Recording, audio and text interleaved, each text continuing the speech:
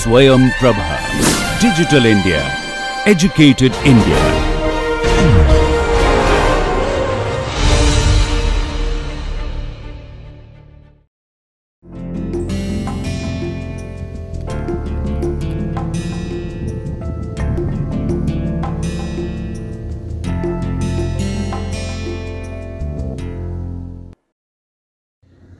So in this uh, part of the uh, video, we are going to talk about um, the existence theory for heat equation. Okay, existence uh, theory for heat equation. Okay, if you remember, uh, for heat equation up till now, we want to talk about well posedness, right? And uh, what did we derive? We derived that there is a unique solution. If omega is bounded, we have derived unique solution and the backward uniqueness too. But now uh, we want to find the uh, you know uh, the heat equation uh, solution. I mean existence. Yeah. So let's say you have are given this equation ut minus Laplacian of u equals to zero.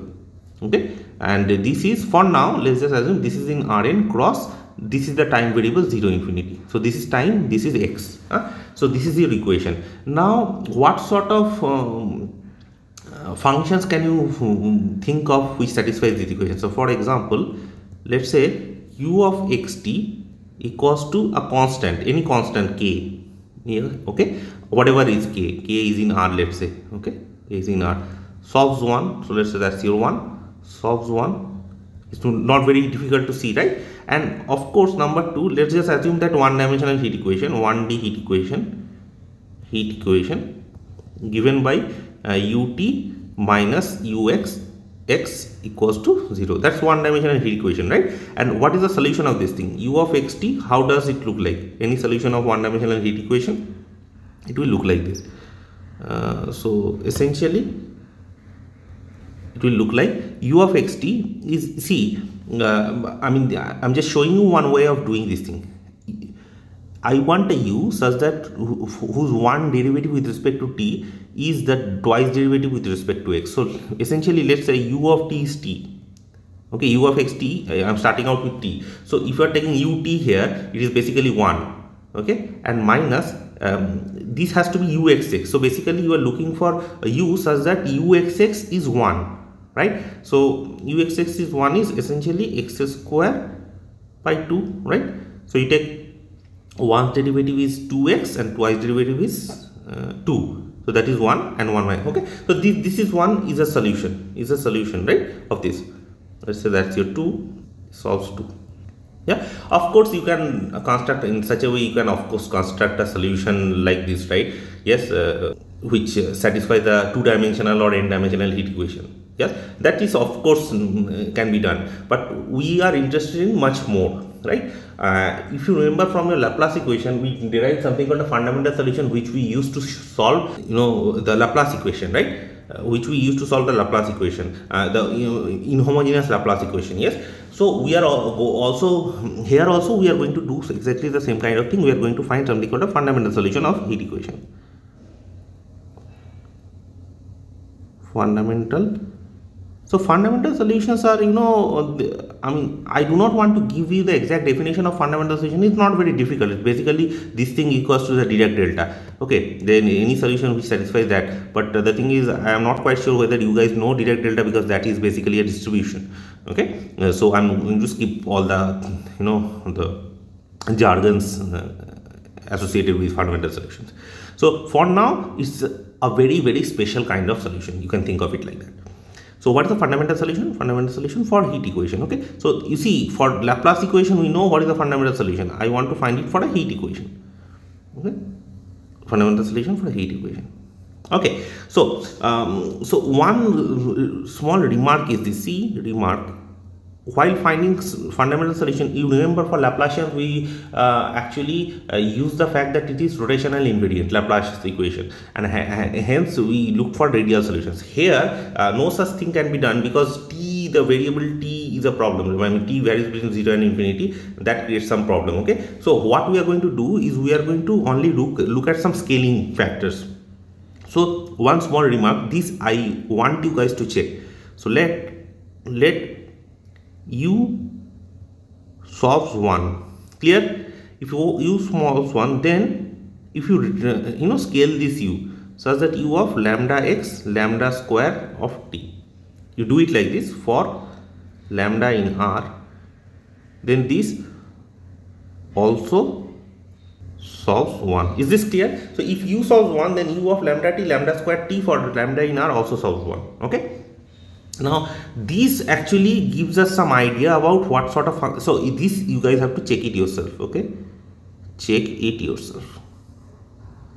Not very difficult thing to do. I am absolutely certain that you guys can do it yourself. You just need some chain rule application of chain rule okay? Just do that. Now once you have this so you see essentially what that says is we basically should look for we should look for look for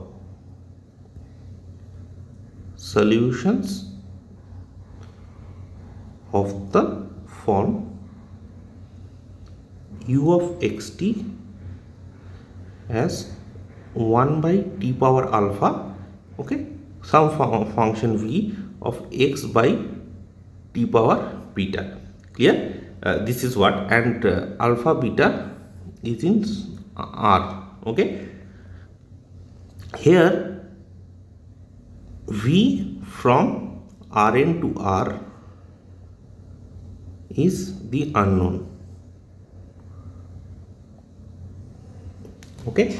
See here this says that if you if you scale the x vari x variable as lambda x and t as lambda square t so scaling is with respect to t it has to be lambda square. With respect to x it is just lambda. With this scaling what we can show is you solve if you solve this equation that scaling uh, if you scale u like that then it also that particular function this new function that also satisfies the heat equation. So from here what you get is you are basically getting that i mean uh, you know there is a scaling going on between x and t and uh, we want to exploit that particular uh, idea and that is why we are just taking it like v of x by t to the power beta okay? So essentially if you think of it like this it is basically x by root t it should be right? X by root t x is lambda is 1 okay so here this should be square right? I mean if you want to scale it properly so basically v of x by lambda root t should be there. Okay but we are uh, th that should actually work here yeah? But we are not doing that. We are just writing it as a arbitrary beta and we want to find what beta is. Okay now let's say this is 3 now substituting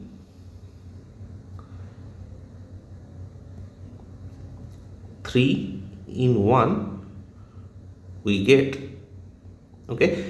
This we get as I, am just writing it down yeah? Alpha times t power minus alpha plus 1 v of y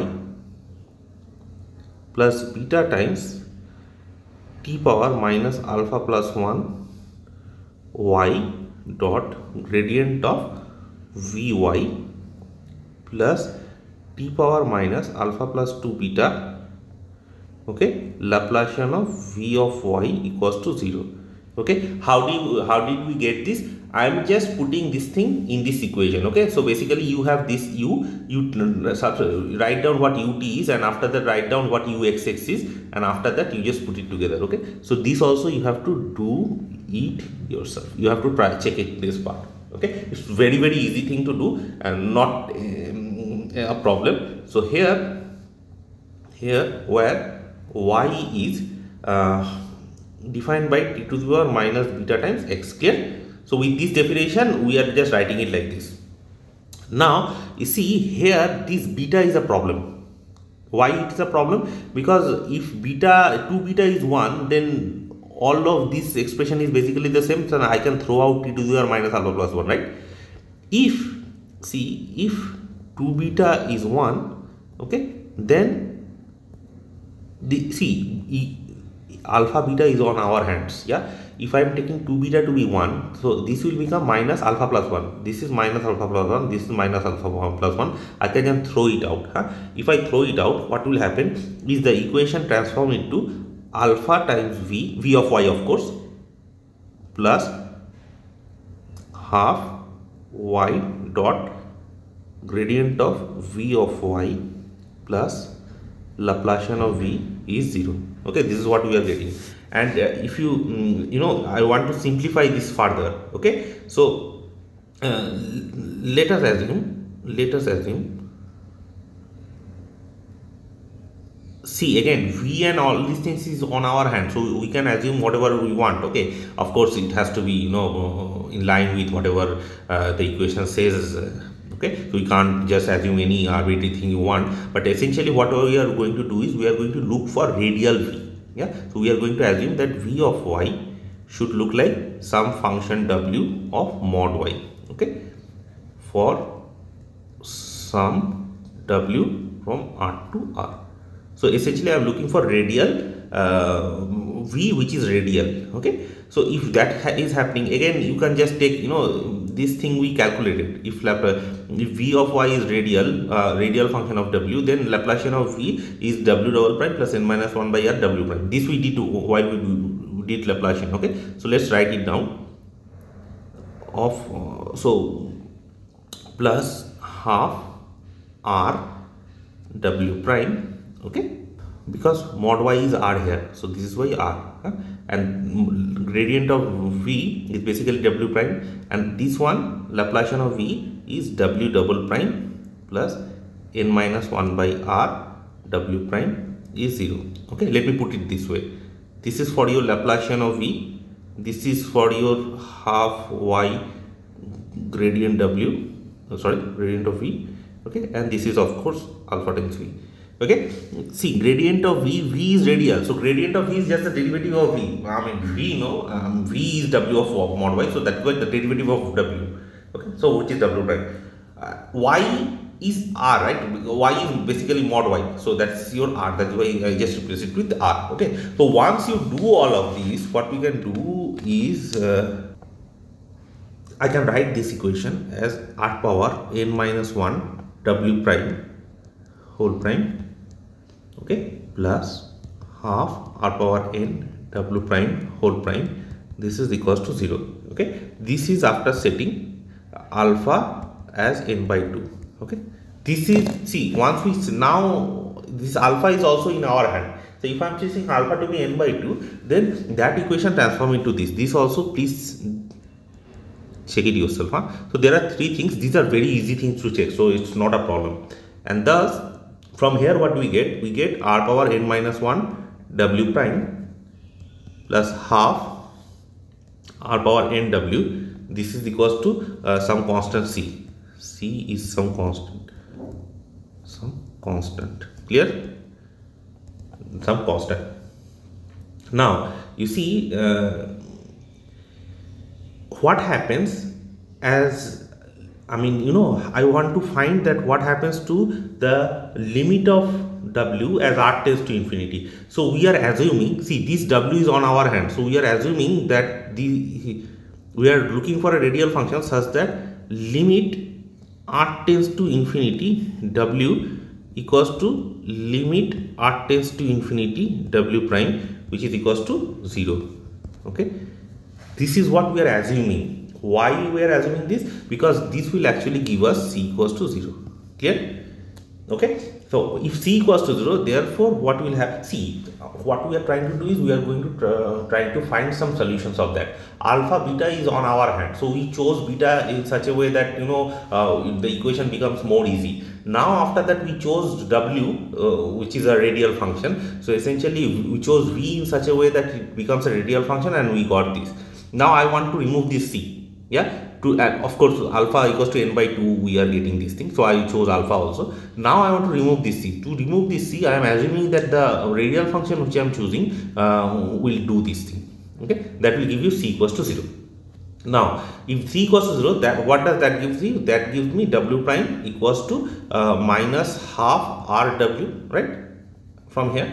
Uh, i can just throw out r to the 1 n minus 1 okay so you understand this is on our hands. We are manipulating right? That is what we are doing. We are manipulating the solution.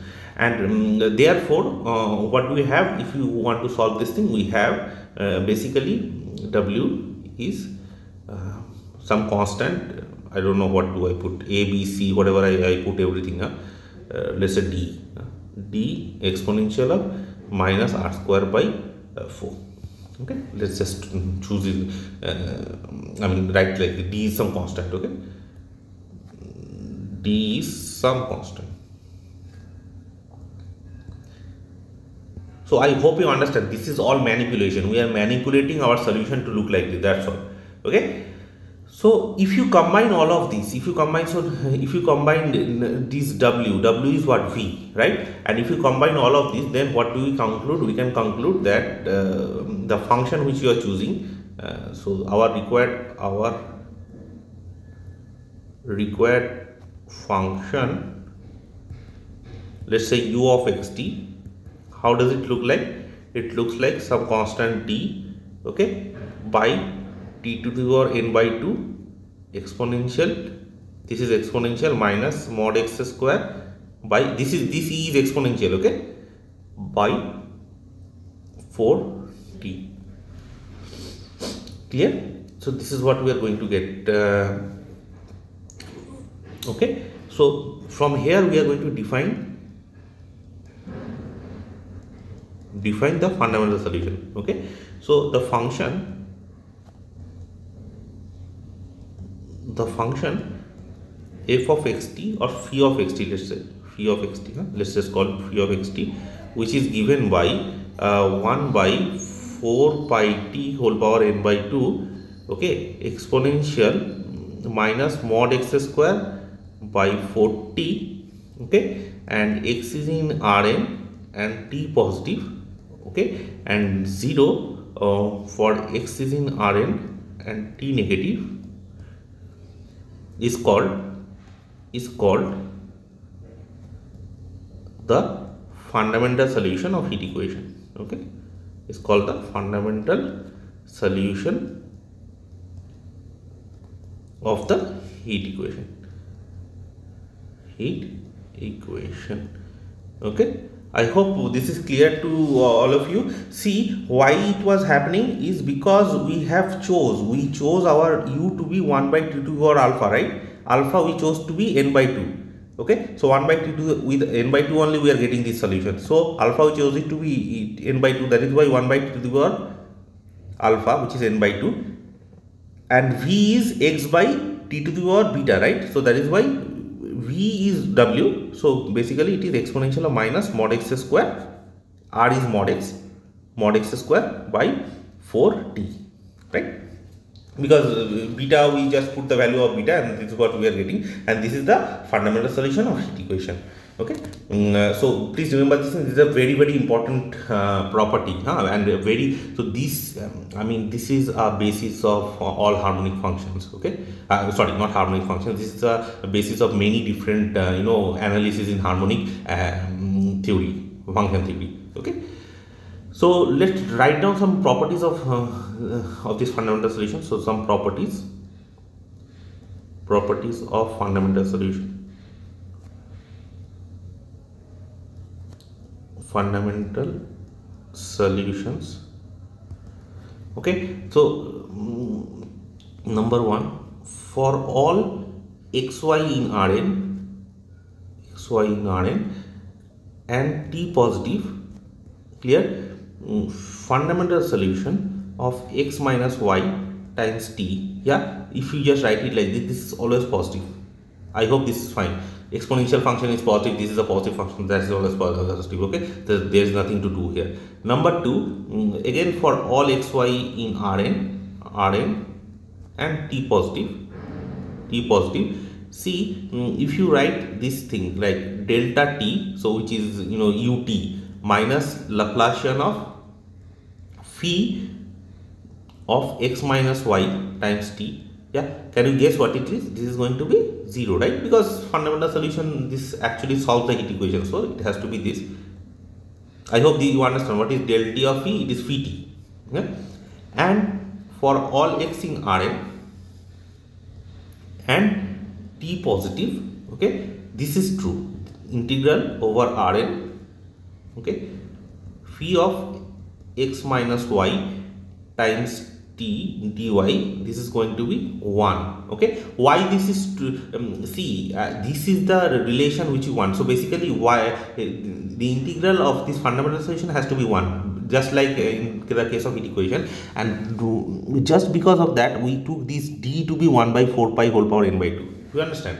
Yeah that is the reason why we took uh, this constant to be there okay and number 4 the last property is uh, for any delta positive for any delta positive and for all x in Rn okay for all x in Rn uh, limit t tends to 0 plus okay? And integral so basically if you are looking at a fundamental solution above uh, i mean outside in the exterior domain okay phi of x minus y times delta uh, sorry t okay? Um, d y is 0 right? So these are the properties. So let me um, i mean proof one and two are just like i mean the easy one huh? uh, let's prove the fourth property first and then we are going to the third property. So the fourth property is limit t tends to 0 plus integral over the exterior domain okay sorry uh, this is greater than delta x greater than delta. So essentially what it is saying is if you are taking the fundamental solution of the heat equation, okay, dy outside the you know ball with radius delta, okay, so in the exterior domain and as you push t towards 0, okay, as you push to t towards 0, this is becoming 0, okay. How do you show that? So to show something like this, what we are going to do is we are going to write this as limit t tends to 0 plus. This is some calculation yes? Let's write it like this minus pi times n by 2 okay minus n by 2 sorry. Okay uh, so i'm just writing out what phi of t is and after that i'm using a um, change of variable yes?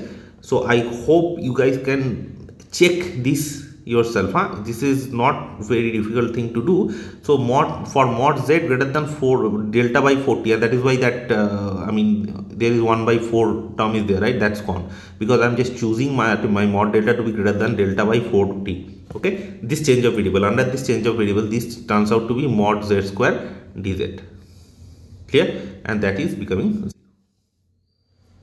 okay so i'm just using a change of variable here and uh, writing phi to be um, you know mod z greater than delta 2 on this uh, domain i'm just writing phi which is exponential minus mod z square okay? Once we does, does this this constant will look like this and um, you can show that as limit t tends to 0 this particular thing goes to 0 okay because this is becoming mm, uh, you know smaller and smaller. You see as t goes to 0 this particular thing mm, for delta by 40 is going towards infinity. So basically you are taking mod z which is greater than you know mm, extremely big. Yeah mod z is extremely big. So uh, and this integral since it is summable this has to be 0 okay.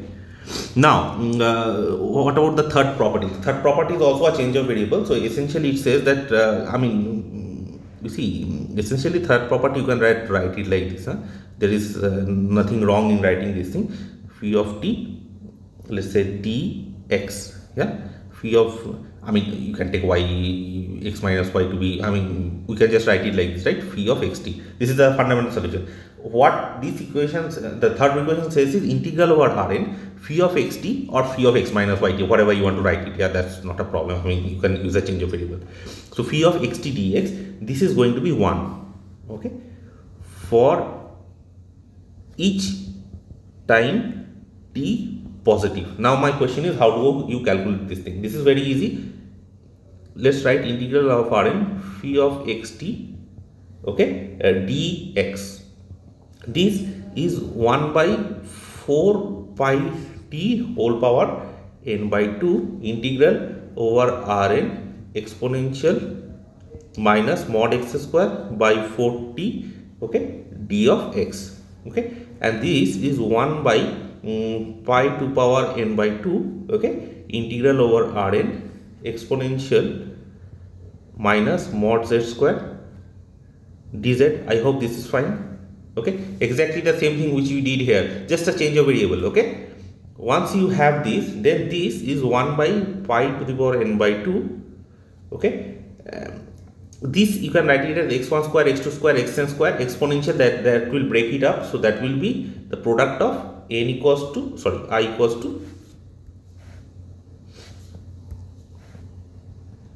i equals to 1 to n minus infinity to infinity exponential minus zi square dx and that is going to be 1 okay? T, sorry this is tzI d zi and that is going to be 1 okay? So uh, this is the properties of fundamental solution. Now in the next uh, portion uh, next week what we are going to do is we are going to use fundamental solution to um, find out the solution of um, the initial value problem um, of the uh, you know heat equation. So with this we are going to end the uh, lecture